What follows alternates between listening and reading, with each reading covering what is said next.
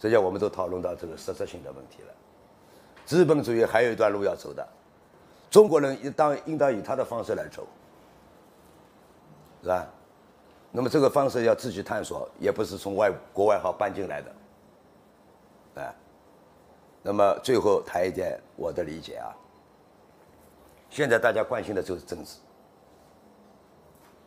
那么关心政治呢，最关心的就是法治的前提，是吧？因为这个社会利益多元化了吧？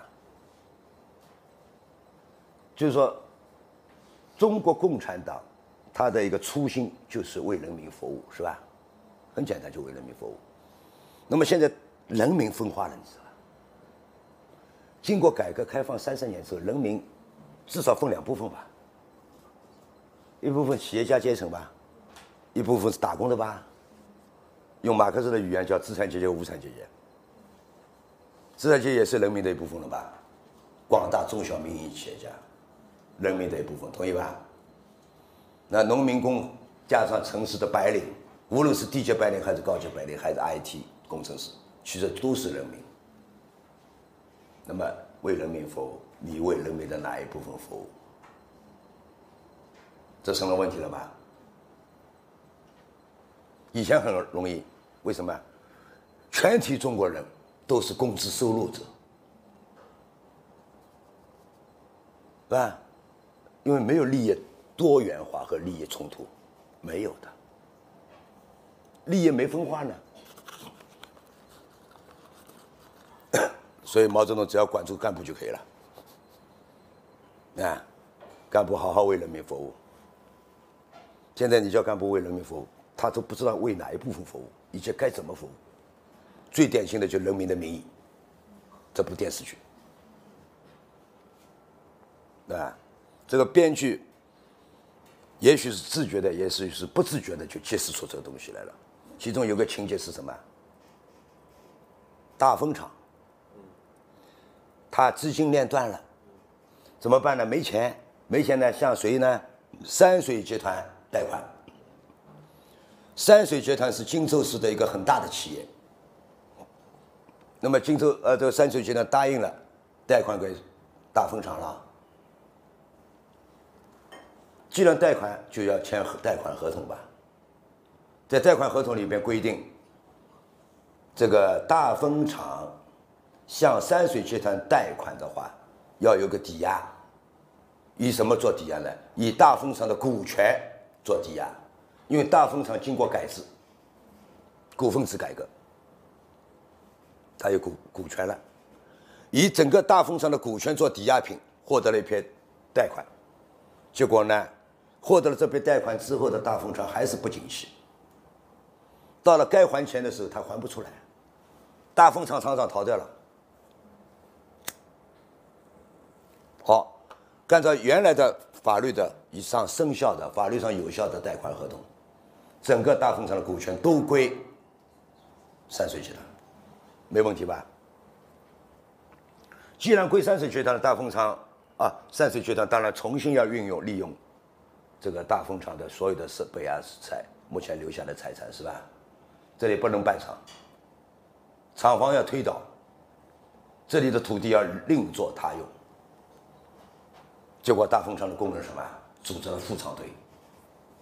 为什么要组织副厂队？第一，害怕下岗失业；第二，什么？一部分大风厂的工人 在大风厂改制的时候，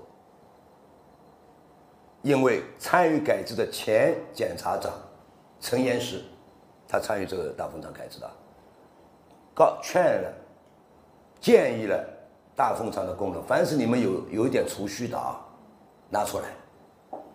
你们也什么购买一部分股权，将来可以分享什么大风厂经济发展的利益。那么一部分工人真相信了他，把半辈子的积蓄购买了大风厂的股权。现在股权没了，半辈子的积蓄没了，打水漂了。两个原因导致他们复厂，组织了复厂队，组起了防卫公司。手中把这个时候沙包上面全撒上了什么汽油，手中举着火把，为什么对面来了？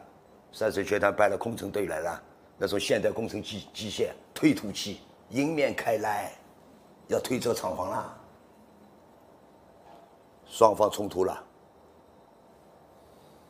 而且大风厂里边还有一个油油库啊，火一旦点着点着，油库爆炸，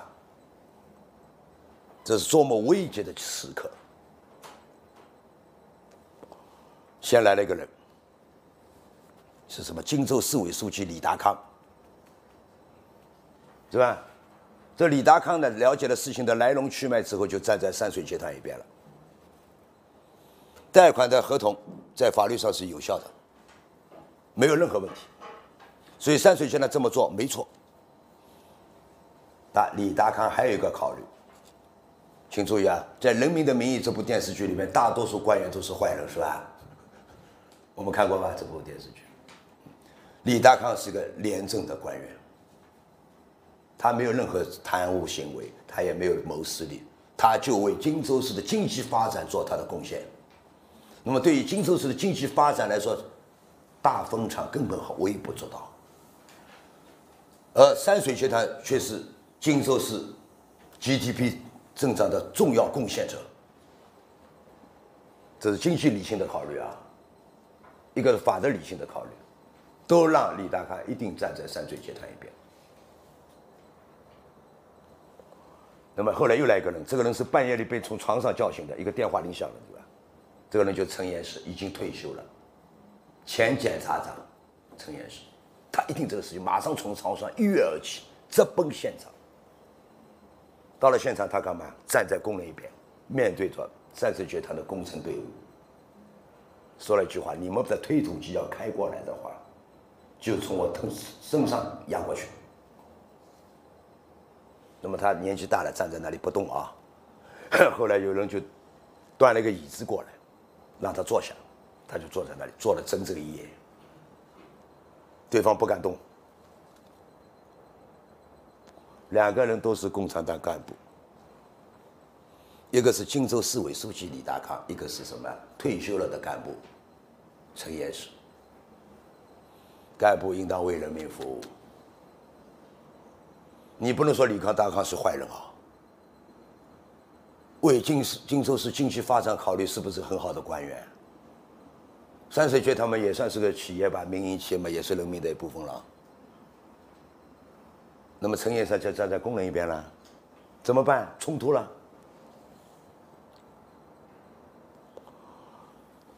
这个情节我特别关注。他证明了一件什么事情呢？今天的干部真难做，政府干部啊。他他一直一直提出了不忘初心，不忘初心。但是他怎么弄呢？当劳资冲突的时候，他站在哪一边是这个问题啊？从中则能得出一个什么结论啊？人民的各个部分都应当有政治代表，是吧？他们的利益都应该在法律上有他的地位，法治吧。那宪法是随便改，你的法治律是教啊？说宪法是随便改，你的法治律的是教这件事情太太太敏感啊，太 太敏感，呃，嗯，所以呢，这个马克思有非常深刻的独到的见解，他认为啊。假如一个国家要建立三权分立的制度啊，三权分立首先是英国做的，对对吧？他的学说叫洛克的政治哲学，对吧？然后他在实践上就是一六八八年光荣革命，一六四零年是打仗的，就第一这英国资产阶级革命起来就一六四零年打的，谁跟谁打？三股力量在打，王室，第三等级，贵族，打了，那么第三等级在。他们的领袖啊，叫克伦威尔的带领下，他们全清教徒，啊，跟贵族战斗，啊，结果斗来斗去，斗到后面，你们知道吧？这三股力量势均力敌，谁都不能消灭谁，是吧？这时候人们想起了洛克的学说了，叫三权分立。于是六一六八八年，光荣革命是吧？光荣革命是妥协的，就不打的。所以英国人一直以此为自豪，就是说建立一个新制度是也是可以通过妥协来做的嘛。但妥协的前提是什么？打过的，势均力敌。势均力敌，这说明什么呢？于是三权分立吧，把立法权交给了什么第三等级。当时这三权不是今天这个三权啊，立法权、行政权和什么外交权。外交权交交给了王室，因为他们仍然是君主立宪嘛。外交王室，行政权交给贵族。啊，实际上这三权当中最基本的是什么？立法权，实际上是英国资产阶级胜利了，但是贵族把它保留了，他可以做。做官员是吧？行政权在他手里，外交权，英国女王是英国的象征，对就可以了。这个三权分立的前提是什么？现实社会本身当中有三股力量，谁都灭不了谁。所以我们呢，不要想别的东西，展望中国的未来。如果说三权分立能够成立，必须有什么？现实社会基础当中有三股力量，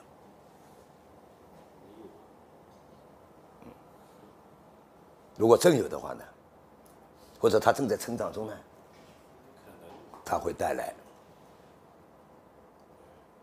啊，如果它成长不出来，那就要同意什么，一党执政吧，是吧？因为三权分立一定导致政党呢要受法律的约束的，对吧？立法权是独立于党派的，对吧？这个司法权现在是这三权嘛，立法、司法、行政嘛，那么司法也要独立了，哎，那么这就是未来一种可能性，是吧？可能性的前提叫分裂，要分不是裂开来的裂，呃，分立，分立。啊，就这件事，因为它是市场经济健康的什么保障？为什么香港回归之后，一个司法权中央政府不拿回来？因为香港的司法权就是法官终身制啊，他不受制于任何政政治权利，你特首怎么变，我还是我，他可以保证什么司法公正？因为这个保证的是，香港作为一个国际金融中心的地位就被国际认可了。因为金融中心是什么？它是国际金融中心，就资本在那里汇集的地方。就是我们刚才讨论这个资本市场的。资本市场如果要保证它的秩序，是法律是最最要紧的。因为我这个钱过来了以后，后来就没了，对吧？我讨都讨不回来，是吧？要有法律保护的。所以，一个国际金融中心对法治的要求高不高？最高。所以中央政府是明白这个道理的，所以司法权不收回，行政嘛当然是我们任命的啊，还有那个叫什么权，立法权，那么就搞一个立法会，哎，选举，对吧？嗯，所以这个原因就是我们知道了，是吧？就是香港它为什么能保持一个国际上承认的法治社会，这是司法独立带来的，司法独立带来的。于是，一个香港居民的护照，你们知道，一百五十六个国家免签，这说明整个国际社会对香港居民的信任。为什么？你是来自高度法治的社会，你你你进来就进来，要什么签证呢？对吧？美国这个护照签。多少国家免签是吧？就认为它是法治社会了。美国比香港少。哎，还比香港少了是吧？因为他的敌人还蛮多的，对吧？所以这就证明一件什么事情呢？就我一直在想，我们中国人的国际形象，以拿以拿什么拿什么做标准的判断？很简单，有多少国家对你免签？对你免签就信任你，很简单，你不会到我国家来捣乱的。是吧？那我当然免签了。所以这件事情，就是香港今天的这个状况呢，其实让我们蛮痛心的。真的蛮痛心的，毕竟是我们的同胞啊，我们有痛痒的是吧？一个经济这么繁荣、很富足的地方，你知道，高度法治，两件事情合在一起的，啊，那么到搞成今天这个状况，也不知道什么原因啊，要要反思，要反思，将来怎么接受也不知道，啊，但是可惜，不要以为澳门就能取代香港，根本不可能的，根本不是一回事。哎，那么上海呢？上海能成为国际金融中心吗？为什么？你这个法司法体系嘛，这是一，还有一个外汇管制。对，外汇管制，对，我们这个外汇现在每一个公民只有多少啊？五万，什么叫国际金融中心啊？五万你去换换看，你能不能轻易给你换到呢？提的时候啊，他要叫你一个星期去提，提五千。一个城市要如果成为国际金融中心，就在这个城市里面，任何货币都可以自由兑换，对吧？上海会成为金融中心是什么？国内的，最多国内的，你不可能成为国际的。哎，啊，这算是我们这课程最后的舆论啊。谢谢大家。